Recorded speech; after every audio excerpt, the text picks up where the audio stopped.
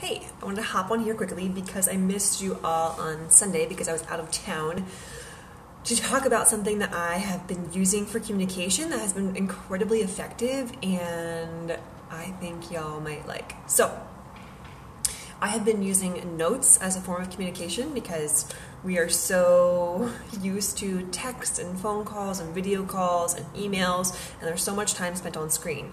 So I have been using notes, handwritten notes, so sticky notes or actual like letters to send to people to praise them, to uh, affirm them, or even to ask them to do stuff. And there's a strategy. I just posted a blog about this last week, and I'll link it below. But a strategy for how to use notes to get kids to comply. So, same concept, but you are writing a note to the child, and you can do it for children of any age, even kids that can't read. If you write them a little sticky note and give it to them or put it somewhere where they will definitely see it, they will almost always ask you what it says. And even if they don't, you can tell them what it says, but because the message, the request, the demand is coming from the note and not from you, it removes the emotion from the ask, so they are far more likely to comply.